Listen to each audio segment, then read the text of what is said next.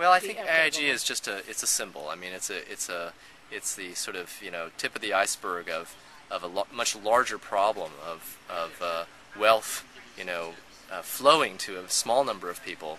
Um, even though the productivity and the and the um, ingenuity of America is really due to a, quite a large number of people. And I think the, the current debate right now is how to engineer a set of rules that are far more fair with respect to the average American